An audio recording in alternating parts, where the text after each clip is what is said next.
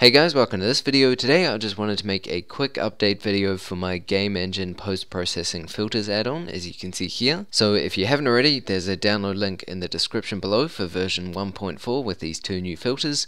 Uh, so if you haven't already, feel free to download it, and I'll just cover how to use them in this video. So we're going to go ahead and open up a new file here, and then basically if you have that add-on already enabled what will happen is even in cycles or blender render you'll have a section down here that will say select blender game renderer to use the add-on.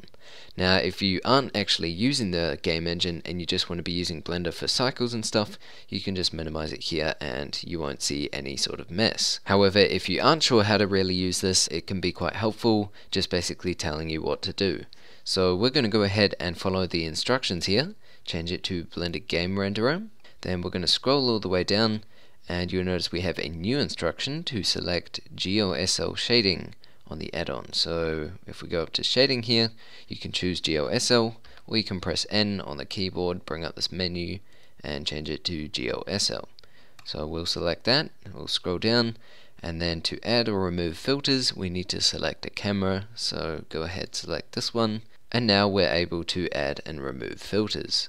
Now one thing you do have to keep a note of is down here you have to be in texture mode to make it look nice. So some of the 2D filters will still work in solid view and wireframe like depth of field and stuff. However again to see them working properly you want to be in texture mode. Now one more thing you'll notice when we do add filters, they've been nicely spaced out so you don't just have one really long list. You now have two columns to choose from and they are alphabetically sorted as well. So what we're going to do here is add the new filter here called HDR. Basically what this does is, as you can read here in the description, adjust the light levels to suit the environment.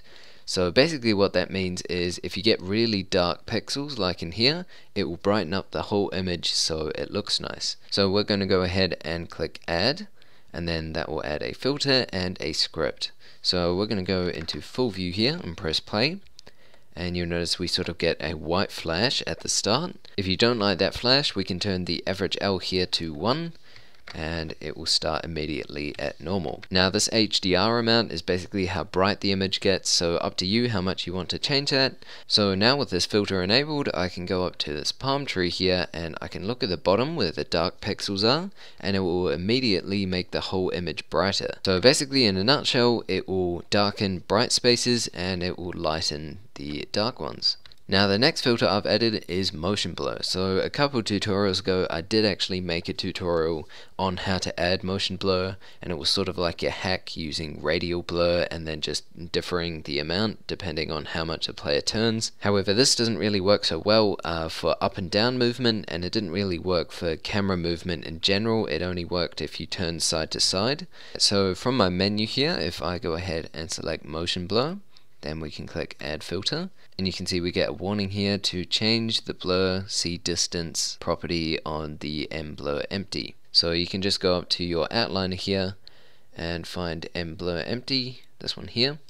Uh, usually it will just add it at the very center of your scene and it should look something like this.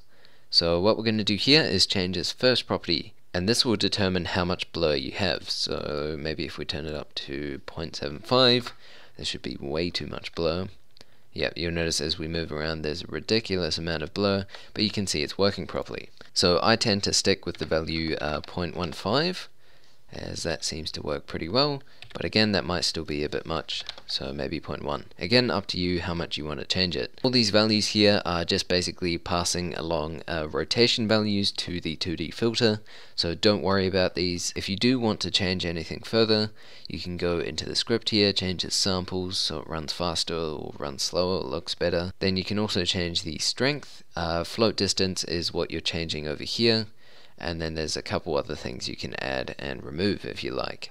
So if you've downloaded the add-on and you want to install it, all you have to do is go to File, User Preferences, go under Add-ons, and then Install from File, and now what you need to do is go into your downloads or whatever, find the folder, and then you can go ahead and install it. Once you've installed it, under the game engine here, you should get an option for post-processing filters. And then just tick that box and save user settings and that means it will always load up when you open up Blender. So I hope you guys enjoyed the video and enjoyed the update for the add-on so you can do lots of awesome stuff with it. If you do find any bugs or anything like that, be sure to leave a comment down below. I'll check them regularly. Uh, so I can release further updates to patch the bugs if there is any. But apart from that, hope you enjoyed the video, have an awesome week, and I'll see you guys in the next one.